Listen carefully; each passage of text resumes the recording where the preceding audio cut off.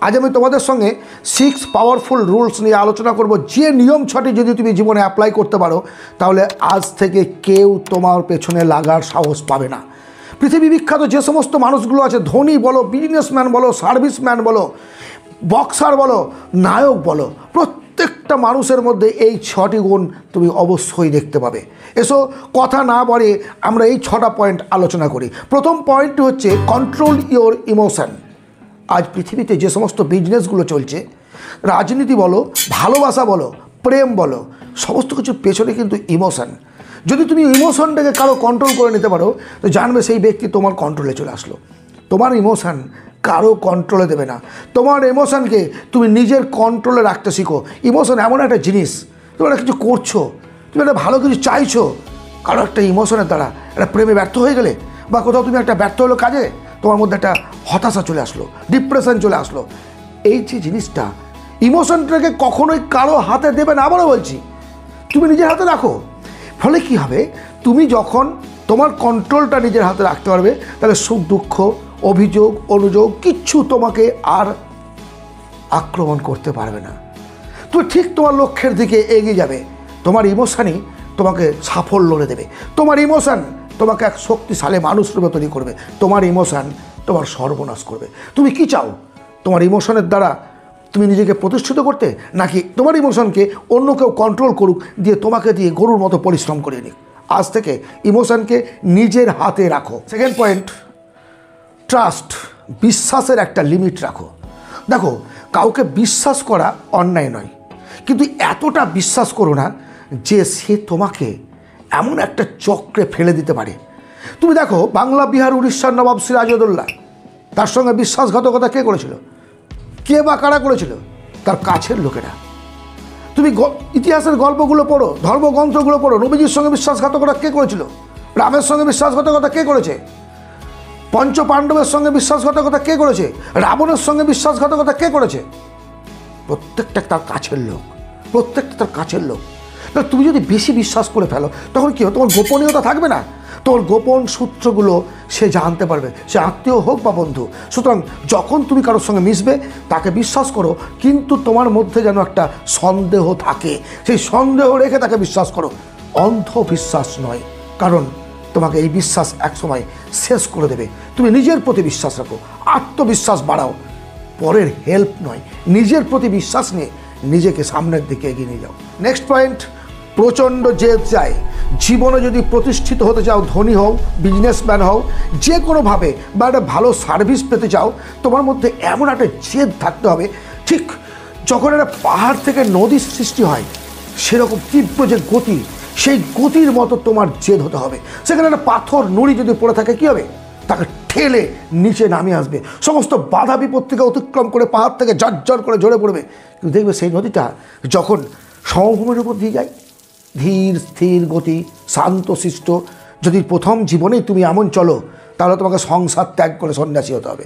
তুমি যদি জীবনে প্রতিষ্ঠিত হতে চাও, তোমার মধ্যে সেই খরস্রোতা নদীর তেজ নিয়ে আসতে হবে। খরস্রোতা নদীর তেজ যদি তোমার থাকে, তোমার সামনে কেউ এসে দাঁড়াতে পারবে না। বুক ফুলিয়ে উঁচু করে যে আমাকে শেষ করে দেবে। ইয়াস নদী তার লক্ষ্যের দিকে, সমুদ্রের দিকে এগিয়ে যায়।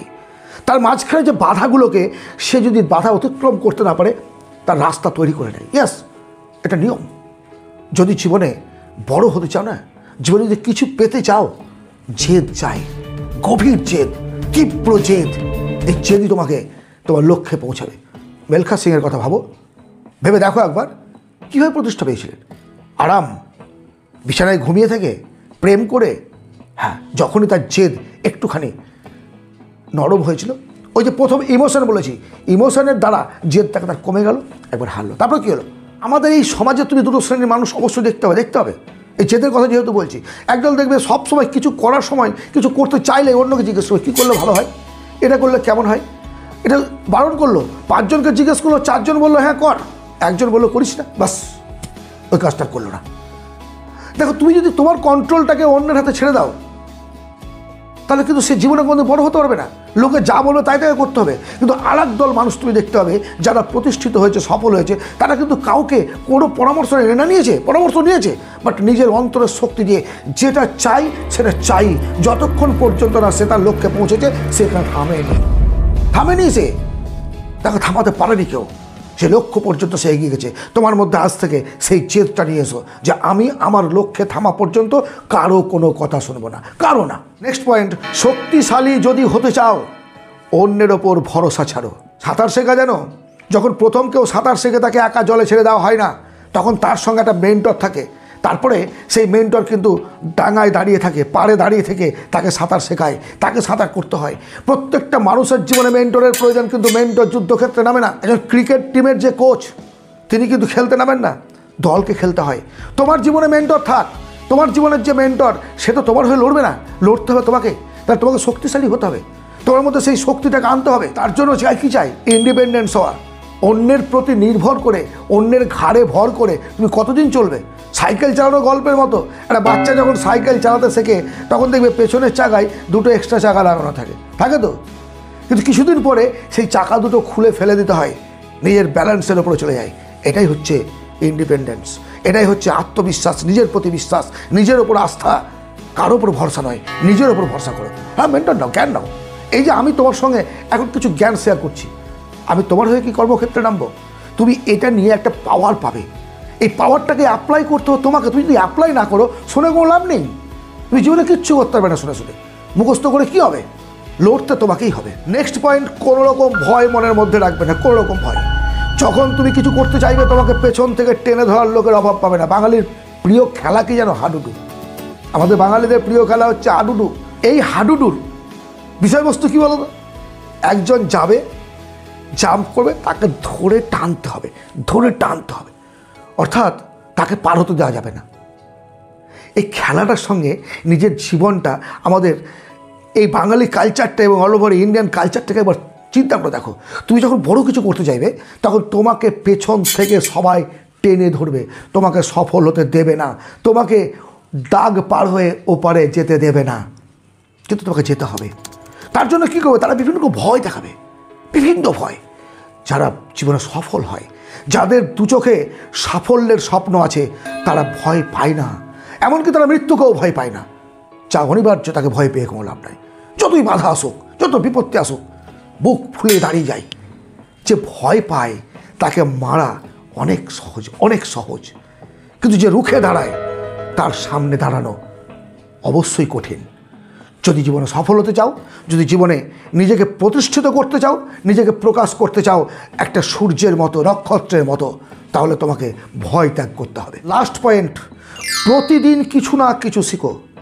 মোর লার্ন মোর আর্ন একটা কথা আছে knowledge is the main power of human যারা সফল ব্যক্তি, তারা ওই পূর্বের শিক্ষাটাকে নিয়ে ভাঙিয়ে খায় না। তারা প্রতিদিন একটু একটু করে তাদের স্কিল বাড়ায়। তুমি যদি এই সমাজে বুক ফুলিয়ে বাঁচতে চাও, তাহলে তোমাকে জ্ঞান রাখতে হবে। তোমার মধ্যে জ্ঞানের সঞ্চার রাখতে হবে। কী জ্ঞান? তুমি যে সমাজে যে কাজ করতে যাচ্ছ, সেই কাজের ওপরে তোমার যেন সব রকম নলেজ থাকে। যেন তোমার সামনে কেউ তোমাকে সেই বিষয়ে জ্ঞান দিয়ে ছোট করতে না পারে। তার জন্য কী করতে হয় প্রতিদিন পড়তে হয়, প্রতিদিন।